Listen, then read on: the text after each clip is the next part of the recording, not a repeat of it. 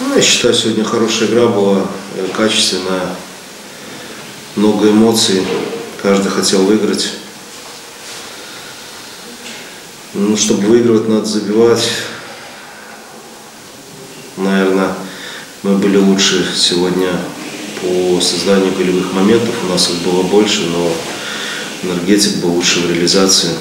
Он забил больше, поэтому они выиграли. Спасибо. А, Володимир Володимирович, а, питання такого штату. О, Ось відносно другого тайму. о, Значну полову, напевно, ну якби навіть більшу, ніж полову, все ж таки енергетик а, криху прищемив Гомель а, на, с- ну, ось на його на його полові поля. Що здарилося?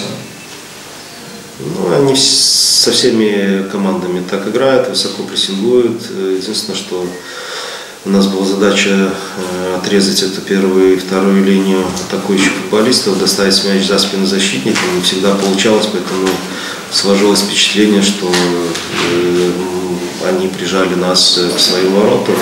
Ну, я считаю, что были моменты для того, чтобы выйти, где-то, может быть, техническое мастерство не позволило, где-то, может, качество футбольного газона.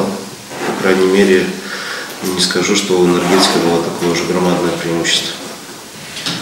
Е, І ось відносно апошніх 10 хвилин. Е, Гэта все ж таки ўжо у, была ваша установка, ці все ж таки команда собралася і, ну, скажем так, просто почала витягуватися е, на, ну, ось на нічейний винік.